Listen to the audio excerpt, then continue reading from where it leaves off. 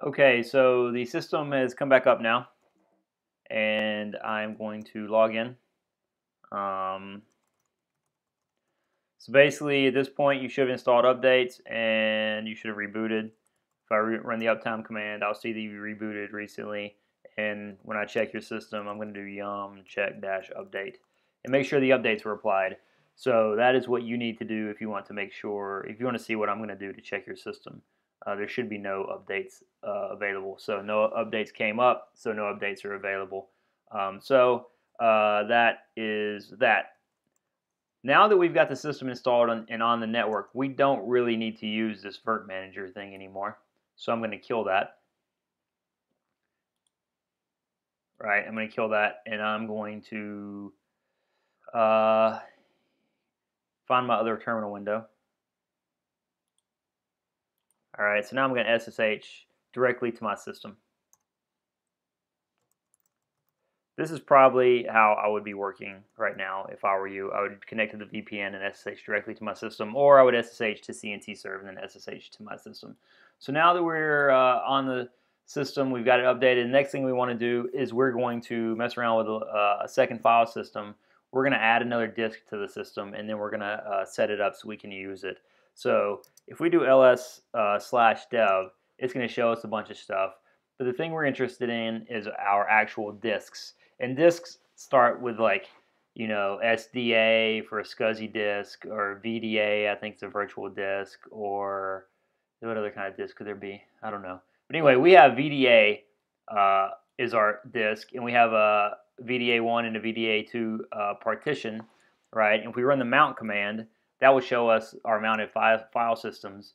If we look at our mounted file systems, we'll see we have dev VDA on slash boot, right?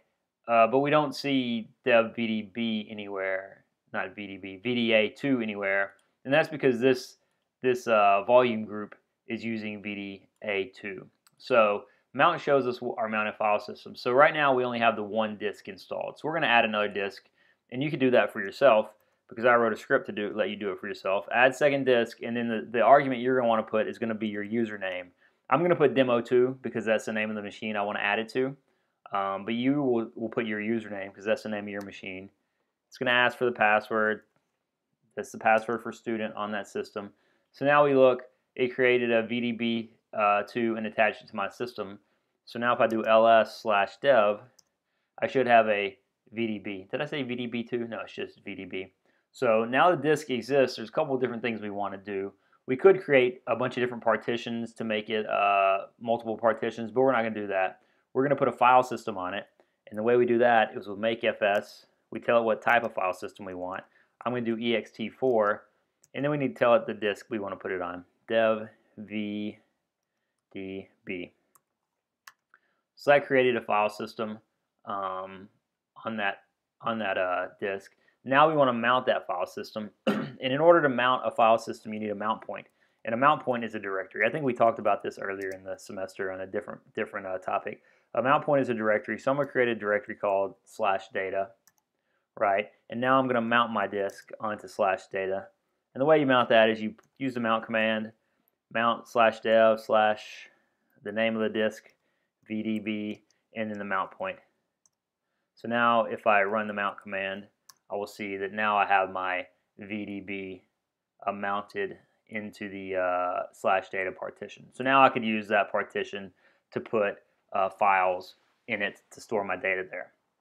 So that's cool uh, and all, and, it, and it's useful. But now if I was to reboot my system, when it comes back up, it's not slash data is not going to be mounted by default. So we want to have that be mounted by default. So we're going to, uh, first I'm going to unmount it to show you how to do that. To, to unmount a, a file system, use umount command, and then you put the mount point, and that unmounts it.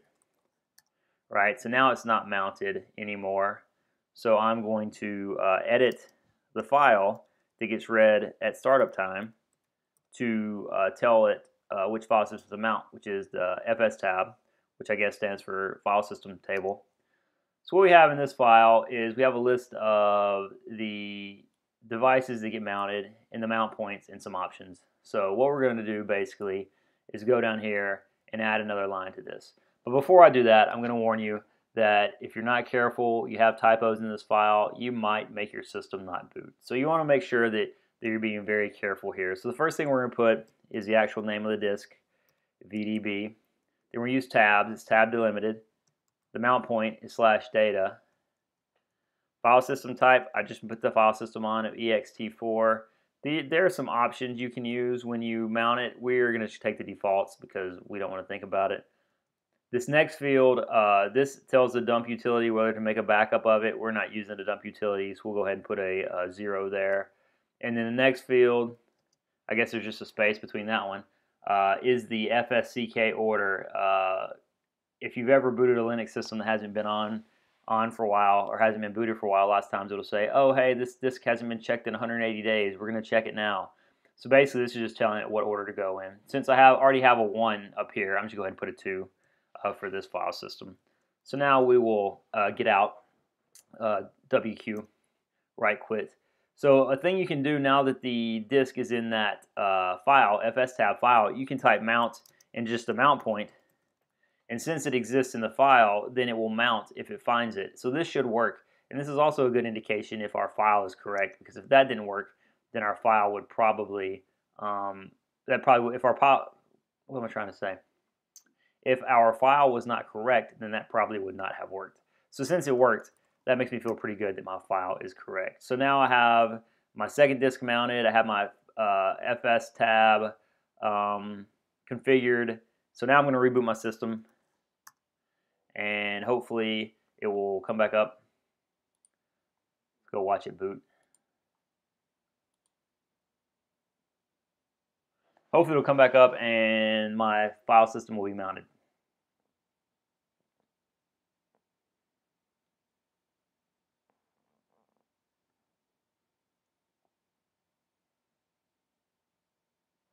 It's booting. That's that's uh that's promising. All right, so it's up. Like I said, I'm not really going to use the Virt Manager for anything much anymore. So now I'll SSH back into my system. And I'll type mount. And I will see that, hey, check it out. It did mount my second disk. So um, that's pretty much the last thing you need to do uh, for this module.